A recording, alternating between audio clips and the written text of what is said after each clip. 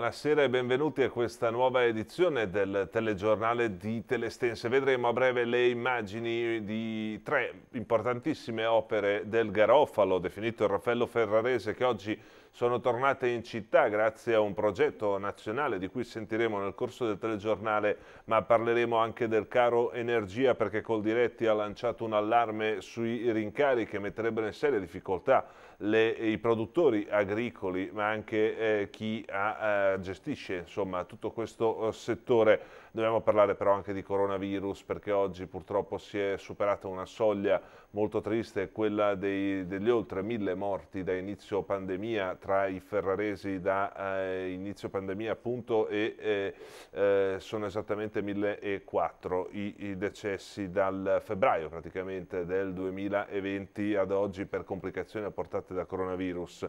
Ma questa situazione del coronavirus, eh, oltre che su tanti settori della nostra vita quotidiana, ha impattato anche sulla scuola che ieri eh, ha riaperto i battenti per riaccogliere i ragazzi e gli studenti dopo le festività natal natalizie e di inizio d'anno. Alcuni banchi sono vuoti ma la ripresa della scuola sta funzionando, ha detto eh, Lia Bazzanini che è dirigente scolastica del liceo Carducci di Ferrara che questa mattina abbiamo intervistato, abbiamo raccolto la sua testimonianza di queste prime ore di ritorno a scuola nel nuovo anno e l'abbiamo appunto eh, sentita sul ritorno degli studenti. Ecco com'è andata.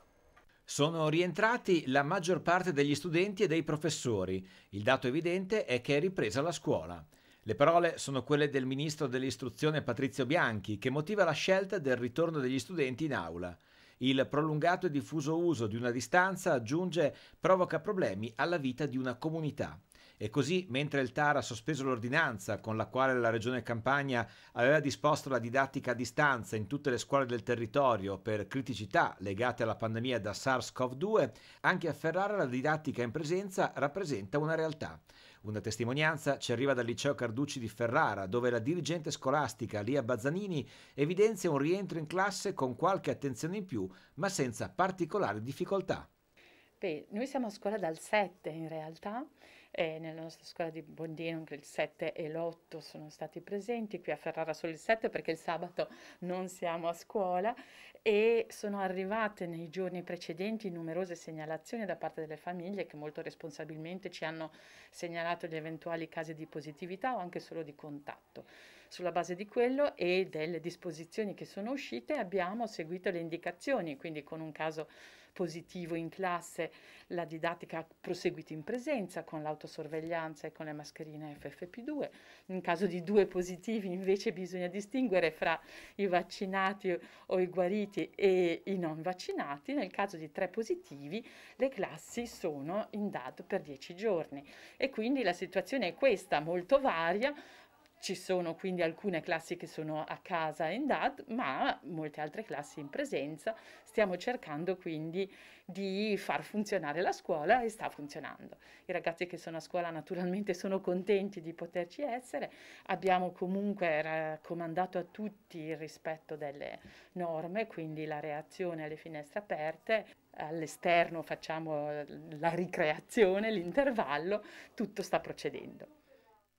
E dobbiamo segnalare una rottura nell'impianto di riscaldamento dell'Istituto Remo Brindisi a Lido Estensi. Nel frattempo il riscaldamento è stato ripristinato nella mattinata di ieri eh, nel corpo centrale dell'Istituto, mentre il problema è stato circoscritto nell'ala distaccata. Al momento non si ravvisa la necessità di ricorrere a un provvedimento di sospensione delle attività didattiche, è stato detto appunto dal Presidente della provincia Gianni Padovani. E come detto in apertura dobbiamo parlare della situazione coronavirus perché sono cinque i decessi nell'ultimo bollettino e purtroppo a Ferrara e in provincia si è superata una triste soglia. Sentiamo. 1004 sono i ferraresi deceduti in quasi due anni da inizio 2020 al 10 gennaio 2022 a causa delle complicazioni apportate dal coronavirus. Sul territorio estense nello stesso periodo sono decedute anche 52 persone residenti fuori provincia, fuori regione e anche una persona residente in Polonia. A questa triste soglia si è arrivati nell'ultimo bollettino in cui sono 5 i ferraresi deceduti a causa del coronavirus, due donne residenti in città di 53 e 74 anni e tre uomini di 100 di Bondeno e di Poggiorenatico di 64, 68 e 82 anni. La pressione ospedaliera in territorio estense continua a essere importante. Al Sant'Anna fortunatamente si registrano però più dimissioni che ricoveri in questa giornata. 149 attualmente i posti occupati a Cona, mentre sono 121 in totale tra il Delta e 100 ancora 20 le persone in terapia intensiva nel Ferrarese. Nel bollettino si registrano 614 nuovi casi su più di 1000 tamponi, 220 nuovi guariti. Intanto ricordiamo che da lunedì, se si risulta negativi al tampone rapido, si potrà chiudere la quarantena con un test in farmacia, pur con qualche fisiologico intoppo da primo giorno, ammette Federfarma Emilia Romagna, questa nuova fase è partita con grande afflusso da parte dei cittadini, un carico sulle farmacie dicono da Federfarma che è già molto consistente per la normale attività di screening e il flusso dei tamponi seriali di quanti ancora non si sono vaccinati, però il sistema sta reggendo aggiungendo giungono da Federfarma. Nel frattempo l'aggiornamento del bollettino in Emilia-Romagna registra un aumento della pressione ospedaliera, 14.000 nuovi casi e più di 3.500 nuovi guariti, 35 i decessi a livello regionale capitolo vaccini nel Ferrarese, più di 3.700 le dosi somministrate lunedì che hanno portato a quasi 290.000 le prime dosi somministrate in territorio estense, quasi 272.000 le seconde dosi e circa 148.500 le dosi addizionali somministrate. Cronaca adesso incidente questa mattina alle ore 9.30 a Lago Santo dove un uomo di 52 anni è rimasto coinvolto in un incidente in maniera autonoma, gravi le lesioni riportate dal 52enne rimasto incastrato nell'auto di servizio dell'azienda per cui lavora, auto uscita di strada probabilmente a causa anche del, del sottofondo stradale ghiacciato. L'uomo non è in pericolo di vita ma è stato trasportato dai sanitari all'ospedale del Delta per le cure. E oggi, eh, l'avrete sentito, è scomparso David Sassoli, Presidente del Parlamento europeo. Sentiamo un uh, suo ricordo. È stato il Presidente del Parlamento europeo per due anni e mezzo, deputato in Europa per dieci, ma il suo sguardo mite e sorridente, la sua voce e il suo sorriso, noi italiani lo conosciamo almeno dal 1992, quando arrivò in RAI e come inviato di cronaca nel TG3 seguì per molto tempo gli avvenimenti riguardanti mafia, Tangentopoli, le inchieste sulle stragi italiane. Giornalista appassionato, ha fatto una vera gavetta prima di arrivare in RAI e dopo tante prestigiose esperienze giornalistiche con i programmi di Michele Santoro, con cronaca in diretta su Rai 2, con la cronaca prima di tutto su Rai 1, è entrato nella redazione del TG1 per diventarne conduttore prima e vice direttore poi un professionista equilibrato, un uomo lontano dai tic negativi del giornalismo odierno, difensore della libertà di espressione e dei diritti. Infine, un uomo coerente che ha deciso nel passaggio alla politica di portare in tutti i suoi incarichi la sua fede nella battaglia per i diritti, per i valori della democrazia, per la giustizia e per la solidarietà tra i popoli. Con lui, Presidente del Parlamento europeo, abbiamo sentito tutti l'Europa farsi più umana e più vicina a noi cittadine e cittadini, nel linguaggio, nella chiarezza, nella determinazione con cui ci ha apostrofato nei momenti cruciali di questi ultimi due anni, per esortarci prima ad attrezzarci contro la tempesta della pandemia, poi ad avere fiducia nella possibilità della ripresa grazie ad un'Unione Europea che ha abbracciato nel 2020, anche in virtù della sua azione di leader politico e di Presidente del Parlamento, un nuovo senso di unità nel dialogo e nel confronto e di cooperazione. Intelligente l'omaggio in italiano di Ursula von der Leyen, che ha salutato David Sassoli riconoscendo in lui un uomo buono.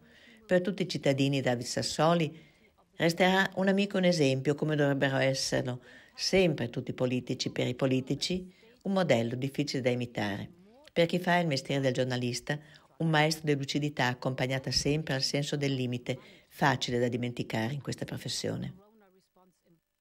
E torniamo a parlare di elezioni presidenziali e degli appelli a candidare ed eleggere una donna al Quirinale. Sentiamo. È frutto di una precisa analisi storica allo stesso tempo vuole essere una provocazione l'articolo che Giorgia Seroghetti, ricercatrice in filosofia all'Università di Milano Bicocca, ha scritto ieri per il quotidiano Domani, diretto da Stefano Feltri. Nel titolo Per la verità infelice che dice al Quirinale non serve una donna, serve un nome, l'articolo annuncia il tema affrontato dalla Seroghetti.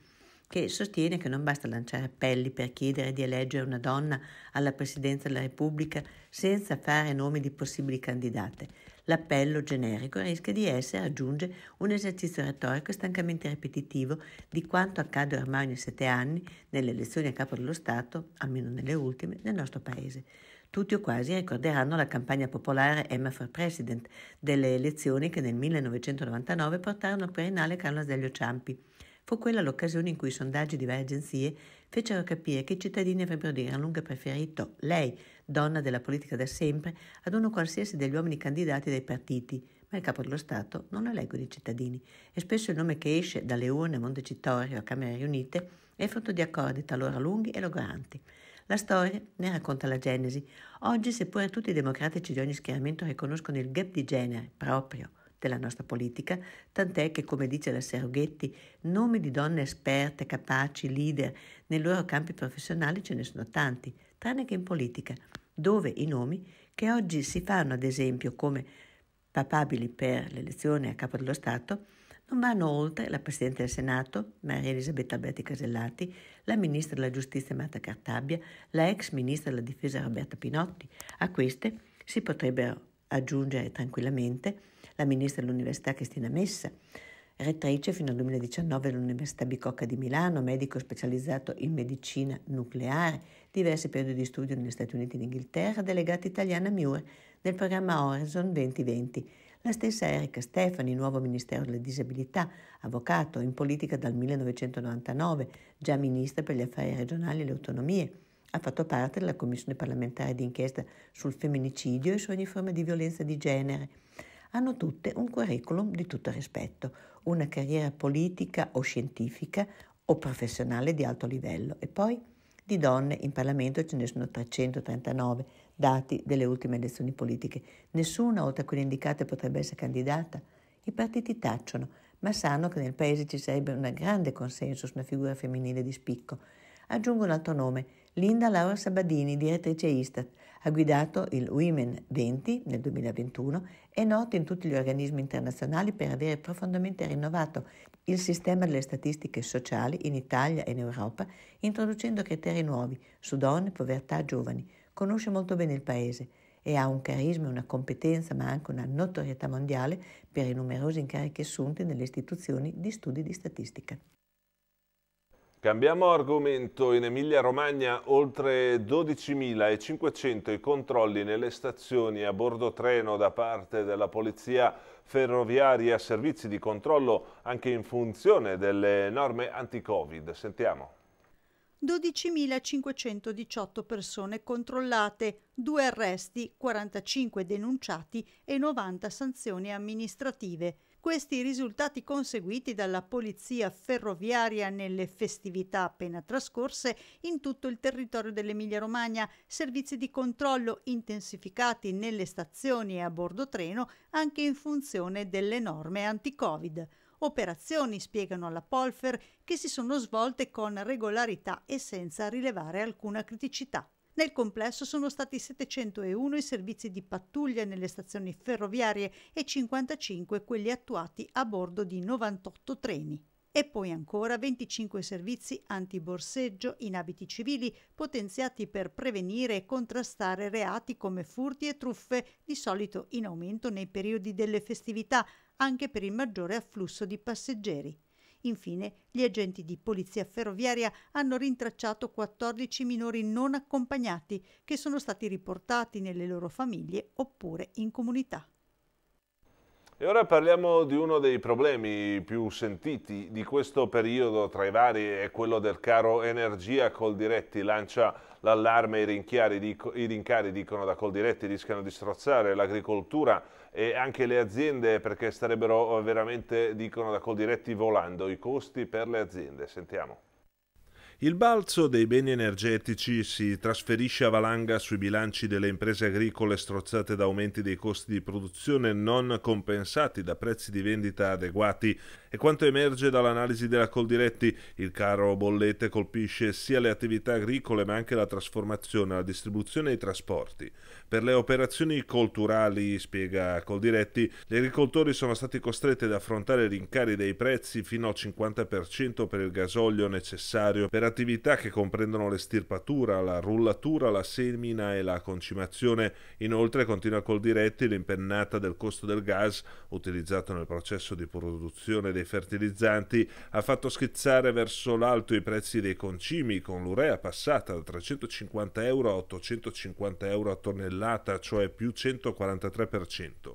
Non si sottraggono ai rincari anche i fertilizzanti a base di azoto, fosforo e potassio, che subiscono anch'essi una forte impennata più 60%. Serve responsabilità da parte dell'intera filiera alimentare, conclude Coldiretti. L'obiettivo è salvare aziende agricole e stalle, aggiungono da Coldiretti. E ora parliamo di una nuova collaborazione tra pubblico e privato per l'ampliamento del patrimonio verde a Ferrara. È la nuova collaborazione che sarà sancita tra amministrazione comunale, Acer e Ferrara eh, Tua e con una società privata grazie alla quale eh, questa convenzione è approvata oggi dalla giunta municipale metterà a dimora una serie di nuove piante in diverse aree verdi, tra cui quella al Barco, tra via Plebiscito, via Padova e via Sirena, questa di proprietà di Acer, quindi un allargamento del polmone verde vicino alla città. E ora eh, torniamo in centro a Ferrara perché è partito il cantiere esterno a Palazzo Municipale, lavori per oltre 2 milioni di euro. Sentiamo. Al via il cantiere esterno per i lavori a Palazzo Municipale a Ferrara, materiali, macchinari e strumenti sono in allestimento anche nel Giardino delle Duchesse, i lavori previsti sono quantificati in circa 300.000 euro e riguardano il prospetto est del giardino e si aggiungono agli oltre 2 milioni e 100.000 euro per la riqualificazione post-sisma del palazzo comunale. Si tratta di fondi legati alla ricostruzione successiva al terremoto del 2012. Continuano gli interventi per riparare i danni prodotti dal terremoto. I lavori consentiranno il recupero e la riqualificazione della casa dei Ferraresi, spiega il sindaco Alan Fabri durante un sopralluogo luogo. Gli operai, prima di allestire il cantiere nel giardino, hanno realizzato opere propedeutiche negli spazi interni di Palazzo Comunale. La nuova prospettiva sull'area, con le pareti di affaccio interno restaurate nei prospetti nord ed est, sarà apprezzabile già da fine 2022, mentre i lavori interni al palazzo avranno uno sviluppo successivo. La fase clou riguarderà i lavori strutturali nella porzione del palazzo che guarda Piazza Castello. Mattinata importante oggi al Museo Archeologico Nazionale di Ferrara dove sono arrivate tre opere realizzate nel corso del Cinquecento da Benvenuto Tisi detto il Garofalo, definito il Raffaello Ferrarese, molto legato alla corte degli Este, opere provenienti da due grandi musei italiani, la Pinacoteca di Brera a Milano e la Galleria Borghese a Roma, operazione che rientra nell'iniziativa del Ministero della Cultura 100 opere tornano a casa, questo obiettivo dell'iniziativa è promuovere e valorizzare il patrimonio storico-artistico italiano, un'occasione anche per parlare della futura Sala dei Tesori di Palazzo Costabili che sarà restaurata in questa occasione, ma sentiamo dal direttore del museo perché questa operazione è così importante per la cultura ferrarese importante per noi perché segna la partecipazione del Museo Archeologico Nazionale al progetto 100 opere tornano a casa, che è un progetto voluto dal Ministero della Cultura ehm, proprio pre che prevede il rientro diciamo, nelle sedi di origine di una cospicua mole di opere provenienti da alcuni dei principali musei italiani. Il Museo Archeologico di Ferrara partecipa con, accogliendo eh, delle opere del, di Benvenuto Tisi, del Garofalo, che è autore anche della, di buona parte dell'apparato decorativo del Palazzo Costabili che ospita il museo e mm, che, che quindi ospiteremo nella nostra sala del tesoro che è affrescata appunto da, dal Garofalo per un deposito della durata di dieci anni e quindi ci offre l'occasione per valorizzare non solo il contenuto importante archeologico del nostro museo ma anche il contenitore ovvero il palazzo rinascimentale che ci ospita e tutto il suo apparato decorativo. A questo progetto che è un progetto come dicevo di livello nazionale partecipano come prestatori alcuni dei principali musei italiani quindi la, la Pinacoteca di Brera ha, ha, ha, ha fatto uscire dai propri depositi diverse opere, tra cui una che viene anche al nostro museo, così come pure la Galleria Borghese di Roma, istituto altrettanto, altrettanto importante che ci ha concesso eh, altre due opere del Garofalo. Vedrete modificata, trasformata la Sala del Tesoro con un nuovo allestimento che abbiamo già progettato, che è già stato progettato e che realizzeremo nelle, a partire dalle prossime settimane entro la prossima primavera. Sicuramente avrete modo di vedere un allestimento completamente nuovo della Sala del Tesoro. Prima di salutarci questa sera su Telestense alle ore 22 torna eh, la trasmissione con le frazioni, il progetto eh, che va a toccare i vari punti attorno alla città di Ferrara, appuntamento questa sera a Francolino, a Sabbioni, Pescara Fossa d'Albero alle 22 su Telestense. Poi poco dopo alle 22.10 torna il filo d'Arianna e in questa puntata si parlerà di vaccinazione anti-Covid per i bambini tra i 5 e gli 11 anni e di altri temi legati alla sanità ferrarese. Con questi appuntamenti televisivi è tutto. Io vi ringrazio per l'attenzione e vi auguro una buona serata. Thank you.